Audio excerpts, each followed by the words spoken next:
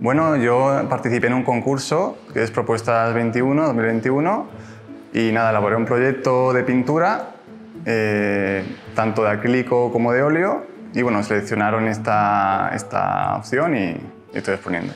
Bueno, estas obras son un conjunto de obras que hice durante 2019 y 2021 y hay tanto obra semifigurativa como obra abstracta.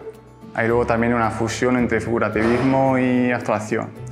En general están todas hechas en un periodo de pandemia que para muchos artistas y para mí en concreto ha supuesto una época de, de mezcla, de averiguación sobre diferentes técnicas, sobre distintos recursos y es lo que se muestra aquí. Este de aquí de camuflaje, en concreto es un cuadro que bueno, eh, tiene mucha inspiración por el street art, entonces tiene un fondo eh, que se asemeja a un muro, se ha hecho ese proceso para que parezca, tenga textura de, de muro y tenga todas las irregularidades, tenga como grietas. Y aparte está pintado con spray y con acrílico. Pues bueno, es una oportunidad que la gente vea lo que estás haciendo.